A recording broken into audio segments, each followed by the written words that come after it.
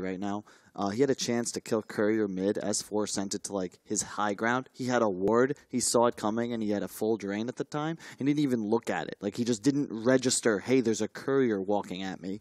Um, he had his plate mail in his in his backpack at that last fight at the tier three for like 20 seconds. Just like these little things. He's buying Euls. He's taking 200 health over 15 agility. He's going phase boots. Like this is a beautiful game. Treads, drums, hood.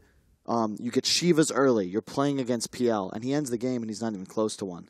Um, General and LeBron are getting crushed in the bottom lane as Venge LC versus Witch Doctor PL.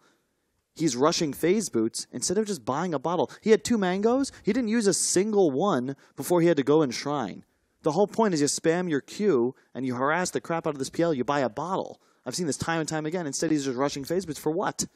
And it just they just seem like they're they're just like not thinking. And to start.